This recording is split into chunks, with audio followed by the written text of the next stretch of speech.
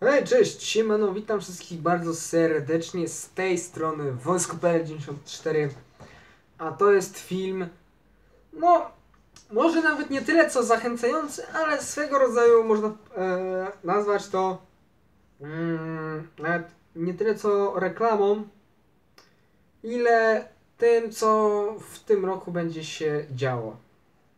Słuchajcie, jak zapewne widzicie po tytule Call of Duty. Call of Duty e, w tym filmie postaram się omówić Wam historię e, całego Call of Duty. Nie mówię, że się zmieszczę w tym jednym materiale, ale bardzo bym chciał, lecz no mogę stwierdzić, że jednak się nie zmieszczę.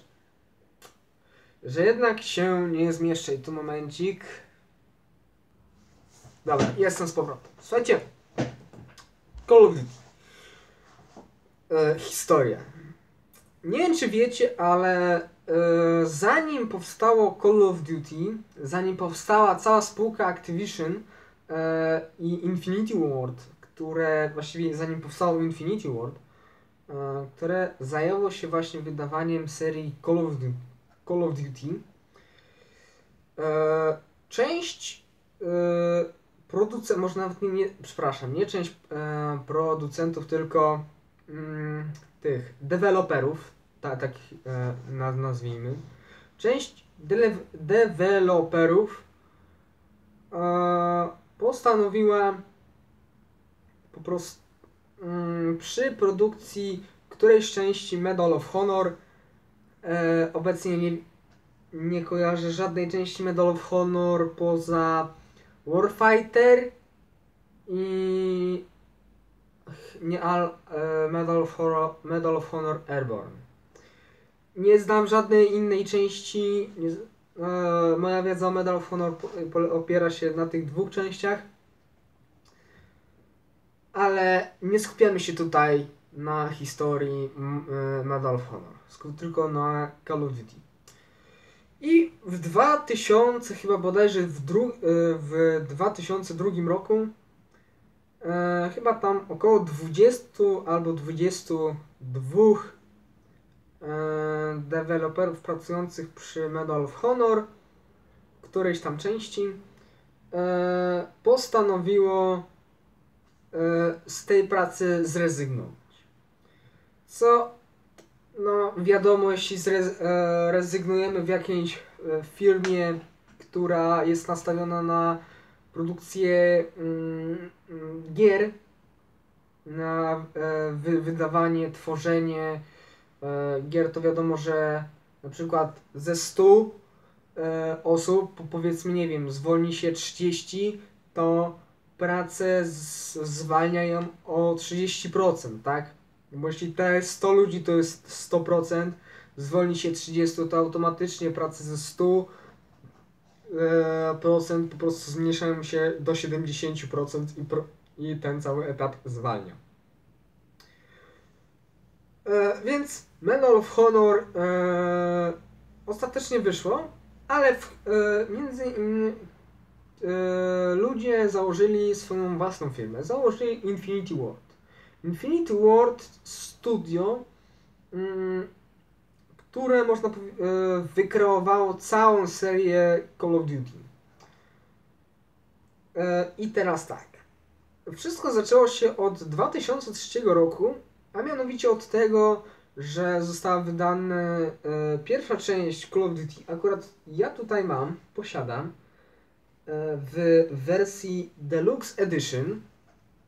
E, tak ona mniej, mniej więcej ta, wygląda ona tak. Oczywiście po polsku. E, mam polską wersję.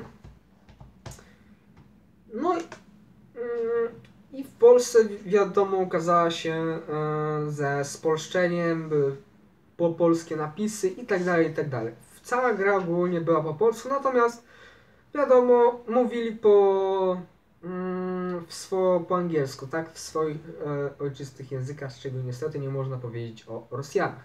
Gdyż oni, i tutaj ciekawostka, w intrze gry do pierwszego koda mówią po rosyjsku, natomiast już w, normalnie w grze, kiedy gramy bohaterem rosyjskim, mówią już po angielsku. Nie wiem, czy, te, czy to wiedzieliście, czy też nie, ale taki mały smaczek yy, pierwszych 6 minutach. Słuchajcie, Kod odniósł niebywały sukces. E, chyba bodajże e, wtedy UK pojawił się Battlefield. I on, można powiedzieć, tak bar raczkował. Of, ale my nie zajmujemy się BF-em. Dla mnie BF to gówno. Takie i musicie mi to wybaczyć. Dla mnie BF to gówno, wolę koda. I teraz tak. Kod, pierwszy kod odniósł tak duży sukces, że twórcy postanowili mm, zabrać się za następną część. Yy, tutaj też zatrzymamy się na chwilę przy yy, pierwszym Call of, Duty, Call of Duty. Słuchajcie, yy, pierwszy kod miał kampanię podzieloną na trzy na trzy nacje. Na nację amerykańską, na nację brytyjską oraz nację radziecką. W nacji amerykańskiej e, braliśmy udział w, jeśli dobrze pamiętam, e, w zdobyciu planów rakiety V2. E, to była taka jedna pojedyncza misja już pod koniec gry.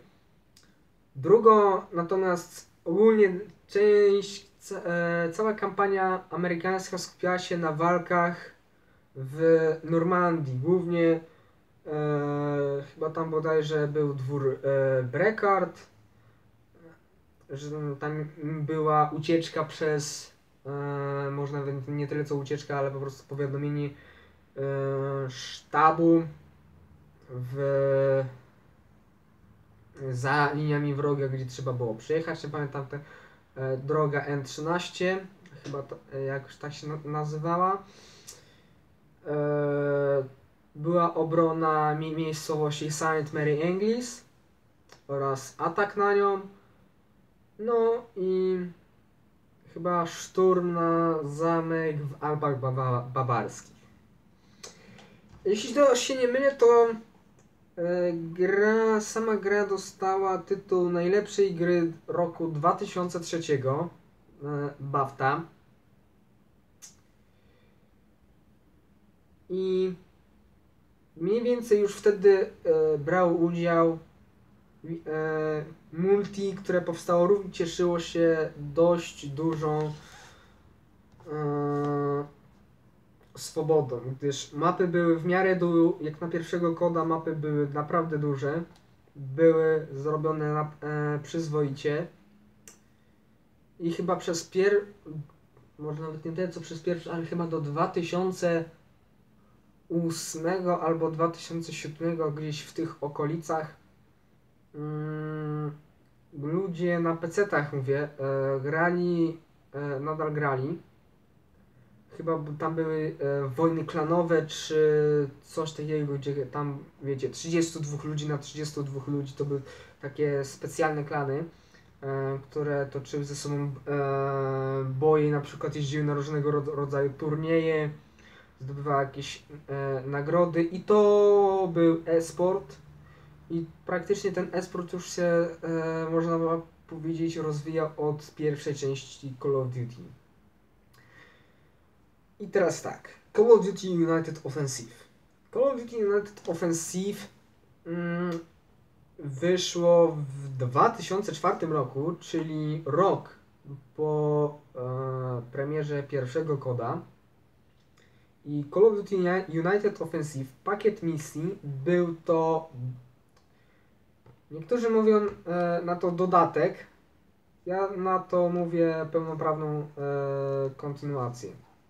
Była to pełnoprawna kontynuacja koda, e, w której rozgrywały się trzy e, kampanie. Rozgrywała się kampania e, amerykańska, kampania brytyjska i kampania radziecka. W kampanii amerykańskiej kontynu kontynuowaliśmy to, co działo się pod koniec ostatnich trzech misji z Koda 1, czyli w misji amerykańskiej zdobywaliśmy plany, plany rakiety V2, to e, jeszcze w United Offensive pakiet misji zajmowaliśmy się tym, że broniliśmy się w Baston. E, nasz oddział, może nawet nie, nie tyle co Baston, ale w okolicach Ba- Baston cała akcja się ro- rozgrywała. Tam bodajże była mies, e, miejscowość Fol, Foy, czy jakoś tak. Mm, I taki jeden dwór, w którym naprawdę fajnie się grało. I chyba bodajże tą misję lubiłem najbardziej, jeśli e, chodzi o całą grę. E, była to misja, przy której spędziłem naprawdę dużo czasu. Się czasem zastanawiam, czy po prostu nie zrobić tego na raz sobie, nie wiem, na przykład nie rozłożyć tego na takie przysłowiowe raty, w, takim sensie, że no, to wystrzelałem, okej, dobra, to zniszczę dwa czołgi, a potem wystrzelam wszystkie, e, całą amunicję do trzech karabinów. Później znów zniszczę dwa czołgi i wystrzelam całą amunicję do kolejnych trzech karabinów. E, tak sobie to mniej więcej rozkładałem i mi się podobało. W kampanii brytyjskiej pomagaliśmy ruchowi oporu w pierwszej misji. Natomiast już w później, nie, przepraszam, w drugiej misji, bo w pierwszej misji byliśmy na pokładzie bombowca, gdzie naszym celem było chyba bodajże zbombardowanie fabryki w Amsterdamie, czy, yy, czy, jakoś obie, czy jakichś obiektów przemysłowych w Amsterdamie. Yy, trzeba przyznać, że to było, że to jednak było zachowane historycznie, ponieważ e, był to jeden z tych nalotów, gdzie po raz pierwszy użyto bombowców B-17. Tak więc realia historyczne też e, w kodzie są. Co prawda czasami nagięte, ale są. E, jak chociażby to, że w 1942 roku pojawia się Gewech 43, który no niestety nie miał prawa się wtedy pojawić, gdyż on, jak sama nazwa wskazuje, Gewech 40, 43 pojawił się w 1943 roku, a w 1942 co najwyżej mógł się pojawić Gewech 41. Eee, no, w kampanii brytyjskiej tam była ta, e, taki ciąg chyba dwóch albo trzech misji, któ- które rozgrywały się na Sycylii mm, przed tak zwaną operacją Husky, czyli e, lądowaniem aliantów na Sycylii, na zaj- zajęciem jej.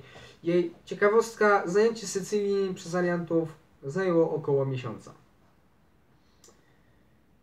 Co było późniejszą podwaliną na e, atak na Włochy. Jeszcze tego samego roku. Natomiast w kampanii radzieckiej e, biliśmy się na łuku kurskim, czy też e, jak to niektórzy nazywam kurskim balkonie. Braliśmy udział w bitwie pod Prochorowką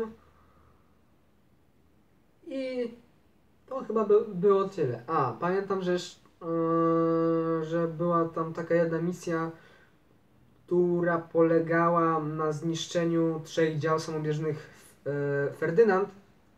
I to też było, że rzeczywiście dobrze odwzorowane, że były ciężkie, mozolne, e, ale no nie miały karabinów ma maszynowych i ponosiły ogromne straty.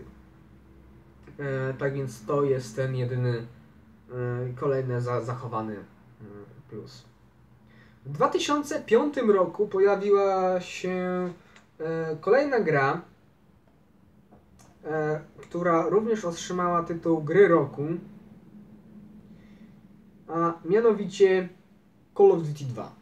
Jak widzicie, mam e, wersję pudełkową, PC-towa też polska wersja. I jak zapewne wiecie po, po materiałach, mam też wersję e, cyfrową na konsoli Xbox 360. Aha, dodam jeszcze, że mam e, klasyka pierwszego koda, który został w 2009 roku udostępniony na PlayStation 3 oraz Xboxie 360 dla tych, którzy zakupili Call of Duty Modern Warfare 2 chyba w jakichś tam dwóch w edycjach podstawowych i w paździer chyba jeszcze w listopadzie albo w grudniu tego samego roku, czyli 2009 gra ukazała się jako oddzielny produkt. E, Call of Duty 2. Call of Duty 2 e, posiada chyba najwięcej misji do tej pory, gdy aż e, 27. 27 misji podzielonych na trzy kampanie, które były podzielone na, tak jak ja to na, nazywam, na takie rozdziały, epizody można y, powiedzieć chyba rozdziały. I w samym kodzie, z tego co przynajmniej tego pecetowego pamiętam, mm, była taka jedna misja, która przechodziłem chyba jedna albo dwie, chyba dwie. Chyba dwie misje były takie, które przechodziłem kilka razy. Pierwsza z nich to była misja Silos. Yy, to była kam amerykańska, w kampanii amerykańskiej, gdzie naszym zadaniem było zniszczenie mm, silosu, jak i oczyszczenie pe pewnej wioski. I ja pamiętam, że tą misję lub, yy, lubiłem najbardziej. Nie wiem czemu, ale ja na tej misji po prostu mogłem grać godzinami. Bo tam gra się zapisywała co chyba bodajże 4-5 minut, naprawdę. Grało mi się tak przyjemnie, jak nigdy dotąd. E, kolejna rzecz. E, kolejna misja Skoda 2, która mi się podobała, to był Przeprawa przez Ren. Mm. Czy ona da, dokładnie tak się nazywała? To już nie mam zielonego pojęcia, nie, nie pamiętam.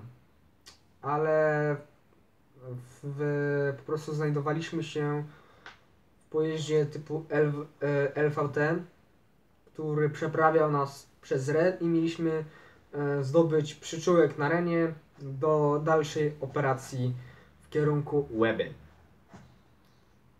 Pod koniec pojawiały się tygrysy, chyba dwa albo trzy, chyba dwa, i trzeba było je zniszczyć. I pamiętam, że ja tą misję również e, lubiłem, przechodziłem wielokrotnie. E, samo e, Code 2 był o wiele lepiej zrobiony graficznie od United, United Offensive Packet misji, jak i od pierwszego koda. Pierwszy kod był um, grafika no jak na 2003 rok nie powalała, natomiast w Code 2 rzeczywiście moim zdaniem grafika nie zestarzała się. Nawet teraz jakbym odpalił to na komputerze, gdybym jeszcze go miał, e, to uważam, że gdybym nawet teraz zagrał i na jednym, po prostu na jednym tchnieniu miał przejść całą grę, to nie zauważyłbym nawet najmniejszej różnicy w grafice między tym, co jest teraz w Infinite Warfare, a tym, co jest obecnie w Kodzie 2. Dobra. Kolejna część koda to Call of Duty 3. Aha, właśnie, e, nie powiedziałem, a te, tego nie powiedziałem, więc przypomnę. E, Call of Duty United Offensive zrobiło studio Grey Matter Studios e, całą grę. Call of Duty 2 zrobił Infinity, Infinity Ward i w 2006 roku, czyli już po premierze Xboxa 360, który miał właśnie w 2005 roku i Kod 2 był pełnoprawnym FPS-em na Xboxa 360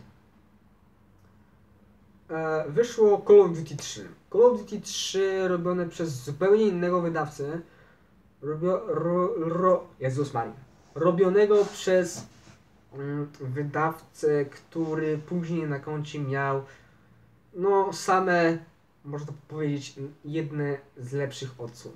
Mowa tutaj o studiu, które w zeszłym roku wydało grę oraz które nie za rok, mm, nie za rok, tylko za dwa lata również wydaje nową część Call of Duty, czyli mowa tu o firmie Treyarch. Treyarch czy też Treyarch, zależnie od tego, jak to woli mówić, ja mówię Treyarch, zrobiło Call of Duty 3, które